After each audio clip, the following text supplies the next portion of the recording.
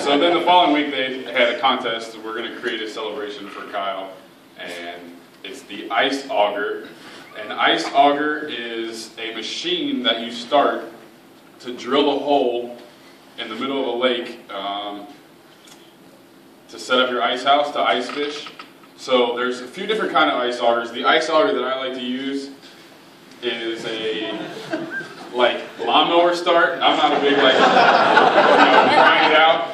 So I debuted the ice auger against the Houston Texans this year.